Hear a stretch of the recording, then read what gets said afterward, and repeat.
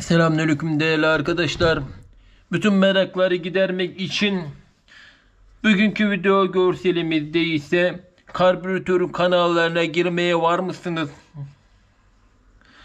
Evet karbüratör H vidası HL genelde traktörlerde olduğu gibi yüksek vites düşük vites gibi HL yazar da karbüratörlerde de aynı şekilde HL yüksek devir ayarı, düşük devirde ayar, yüksek devirde yani rolantide ayar ya da yüksek devirde ayar diyebilirsin. HL bu şekilde anlayabilirsin. L yavaş demektir. Low, H yik demektir. Bunlar zaten çoğu kişi, çoğunuz biliyorsunuz ama gerçekten o mu anlama geliyordu? Ben de bu şekilde biliyordum. Hik low biliyorum yani. Ama ilginç bir çalışma sistemi olduğu için işlerine derinlerine girmediğimiz için maalesef ki hey vidasını yanlış yorumlamışız. Şimdi bunda L vidasını karbüratör eski bir karbüratör var. Kırıklar var bakın. Eski bir karbüratör içinde check valve gideceğiz. Orayı L yani H vidası işte bu. H gördüğünüz gibi yazıyor burada. H vidası işte burada. Bunun bu kısımlarını kesip bakacağız. İçinden ne çıkacak göreceğiz. Birlikte görelim artık.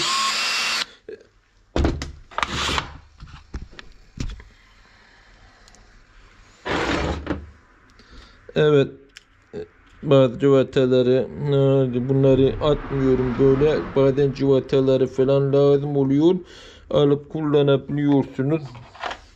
Her şirkete her zaman lazım olur malzemeler.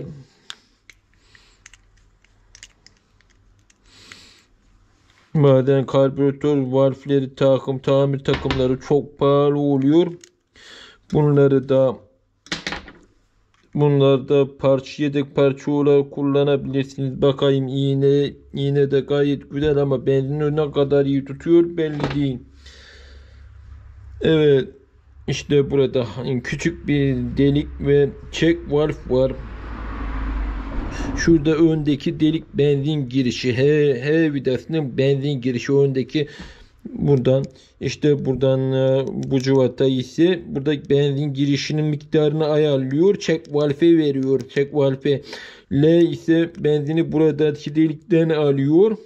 Aldığı deliği şu tıpalı yere veriyor. Tıpalı yerde üstünde 3 tane delik var. Oradan benzin püskürtme yapıyor yani rolantide. O, o şekilde bakın kelebek kapalı şekilde rolantide çalışıyor. Benzini silindire veriyor bu şekilde. Evet şimdi geçelim L vidasının L vidasında ne var ne yok görelim artık. Tabii şu kelebeği de sökelim. Bu konuyu gerçekten çok merak eden insanlar var. Yani derinlere inmeme sebep arkadaşlarım var kanalımda. Onlar sağ olsun. Ayrıca benim de işime yaradı bu bilgi. Ne demek yani? Bazen de onlar öğretiyorlar. Onlar öğrenmeme sebep oluyorlar. Onlar daha azimli olmamıza yardımcı oluyorlar. Teşekkür ediyorum. Şimdi L vidasını çıkaracağım. Valfe kadar kesme yapacağız ispirelle ama bayağı tehlikeli. Bu yüzden gözlük kullanmamız gerekecek.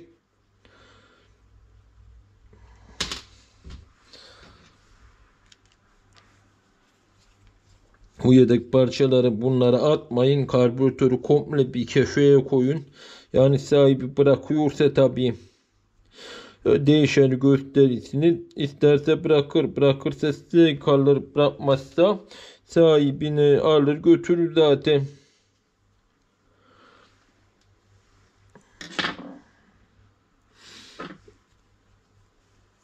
Tamam.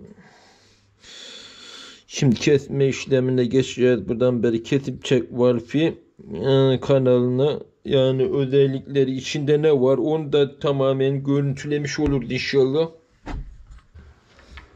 Evet kesme işlemine geçiyoruz. Daha iyi görebileceğiniz bir şekilde kameraya alıyoruz. Tamam.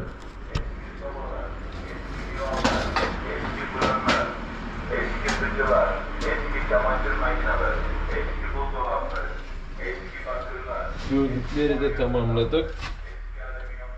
Şimdi ise işleme geçelim. Nereden keseceğiz bakalım kesebilecek miyiz hatta.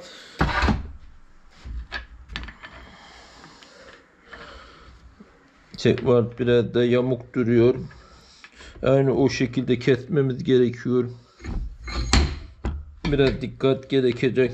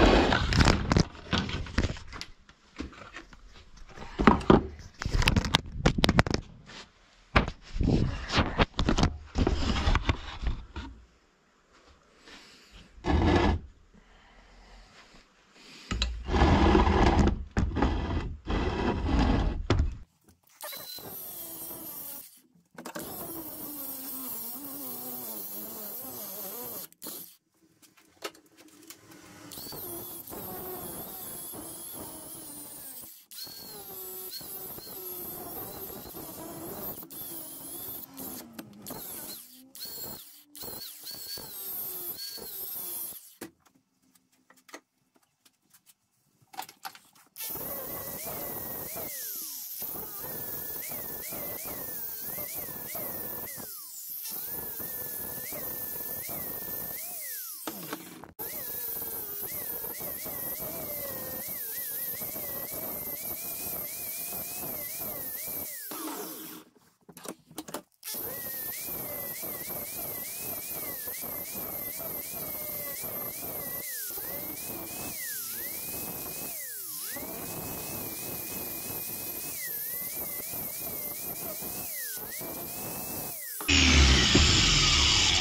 İşte gördüğünüz gibi karbüratör iğnesinin yatağı burada iğnesinin e, ters geç ise burada oluyor. Çek valfi görüyorsunuz. Çek valf de burada. H vidasının geldiği yerde burası. İşte H vidasının yer geldiği yer.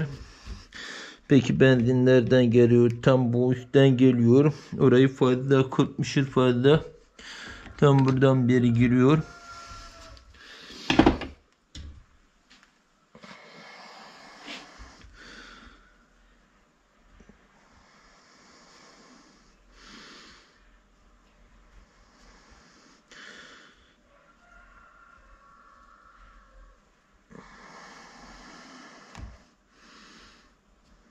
İşte vidası arkadaşlar.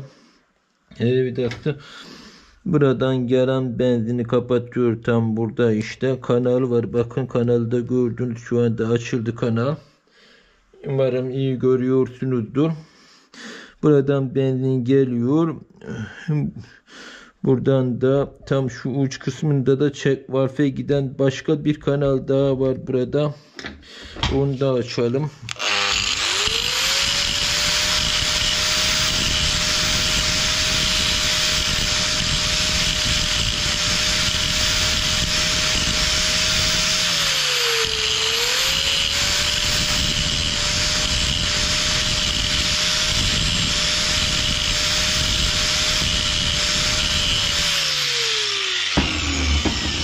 Evet hemen çek varfe giden bir kanal olacak burada. Kanalı koparttım bilmiyorum.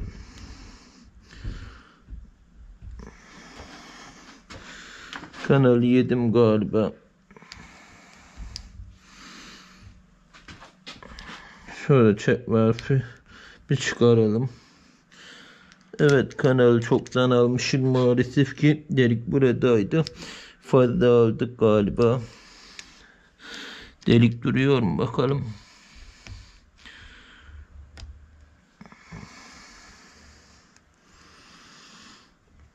İşte şurada delikler var. Burası çukur çukur şeklinde. Şurayı görüyorsunuz. O her çek valf istediğiniz yöne takın. Bu delikten girer. Bu delikten.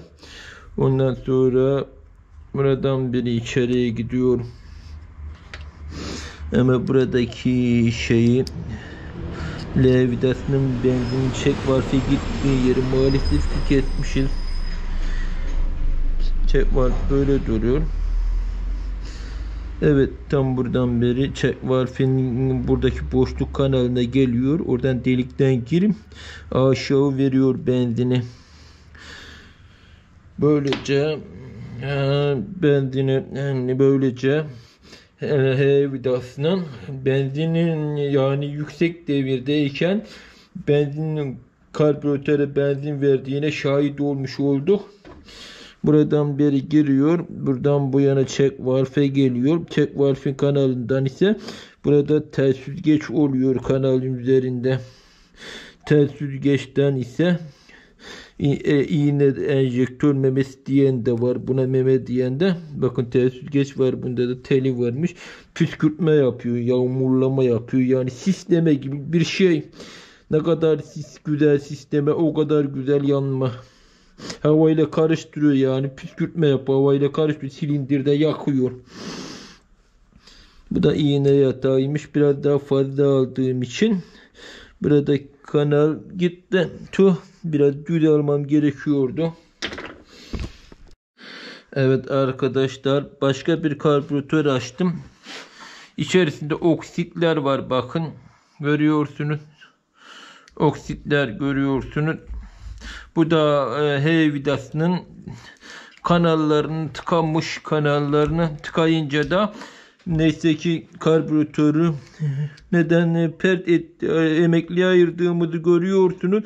Çek valfi çıkarıp bunları temizlemek gerekir tabii. Birçok karbüratör çek valf tıkandığı için bozuluyor maalesef ki.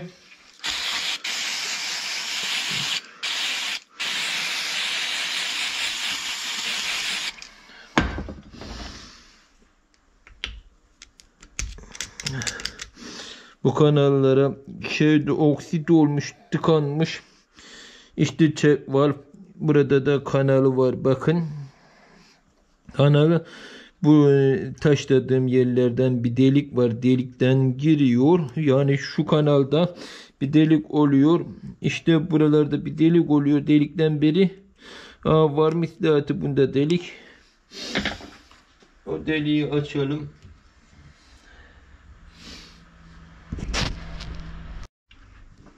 Evet değerli arkadaşlar çek valfin deliği işte burada. O da tıkanmış bakın. Bayağı da tıkanmış yani. Ama bu ucuz karbüratör olmasa tabi çek valf değiştirip tamir edersin. Ama çek valfleri pahalı satıyorlar.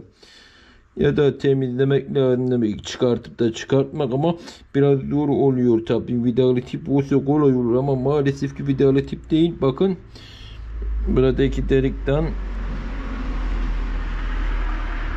nerede ya bulamadım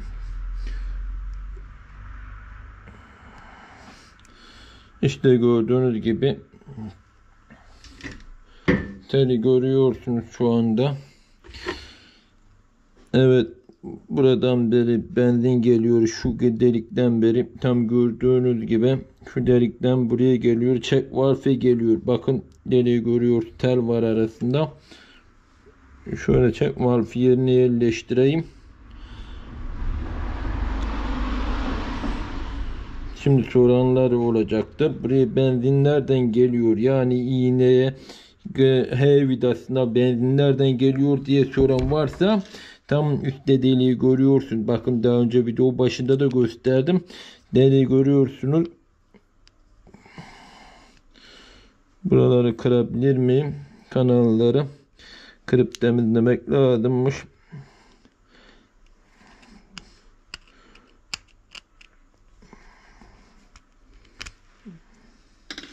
Biraz daha ispirelle alalım bunu.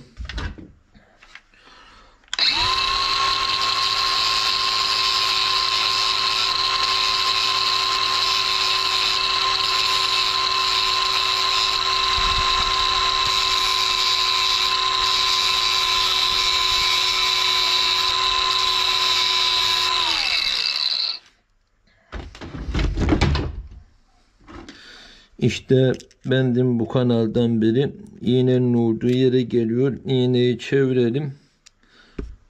Bakın bu kanaldan beri iğnenin olduğu yere geliyor. İğne ayar vidasını, he vid ayar vidasını geri çekiyoruz. Bakın ucu da geri çekilmiş oluyor. Gördüğünüz gibi. Bunu vidaladıkça ise buradan gelen benzinle kısıyor ya da kapatıyor. Bakın. Yine buraya girdi mi kapatmış oluyor.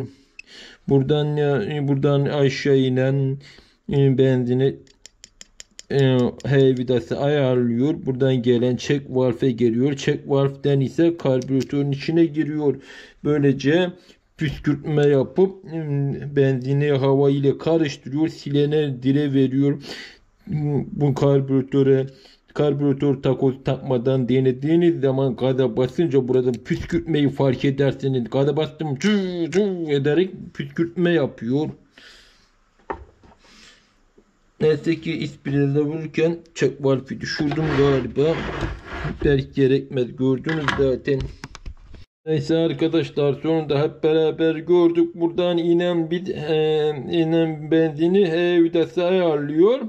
H vidasından e, yani H vidası ayarlıyor. H vidasından giden benzin check valfin kanalına giriyor. Boş kanalına kanaldaki delikten içeri girip aşağı doğru püskürtüyor.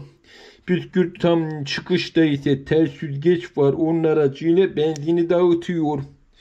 Diğer L ise işte buradan takılıyor o L vidası. Bakın şuradan benzin giriyor. Yani L, H, buradan giriyor. L ise buradan giriyor. Bazıları buradan farklı olur. Buradan giren benzin L vidasına geliyor. L vidasından ise buradaki odaya geliyor. Odada 3 tane delik var. 3 tane delik. 3 tane delik rolantideyken motora benzin veriyor. Burası motor tarafı. Motor tarafı kelebek kapalı olsa da benzini silindire veriyor. Gaza bastığınız zaman ise check valve'deki benzin e, yani zaten kendi emer zaten benzin de check valve'deki benzin e, aşırı motordaki ağaç hareketin pompalamanın da a, a, a, pompalamanın da hızıyla birlikte benzin basıncı oluşturur. Benzin basıncını buradan püskürtüyor. Kaç kere beğeni açtığınız anda püskürtme yapıyorum. Kapattığınız anda yavaş diyor. Açtığınız anda püskürtme yapıyorum. Evet artık hava ayarı diye bir şey yok. H vidası yani e, yüksek devirde ayarlayabilirsiniz H vidasını. Aşırı sıkarsanız dediğim gibi pistona yağlama az gideceğinden motor sarmalarına sebep olabilir. L vidası ise o da benzin ayarı açarsınız. Buradan sürekli püskürtme yapar. Bu da aynı şekilde. İkisi de benzin ayarı maalesef ki bir benzin ayarı silindir tarafta kelebeklerin dışında yani Diğeri ise gaz kelebeğinin gaz kelebeğin, e, kelebeğinin önünde bulunuyor hava filtresi tarafında. O da H vidasıdır. Her neyse arkadaşlar artık e, siz de sizler sayesinde ben de artık karbüratör içeriğini iyice öğrenmiş olduk.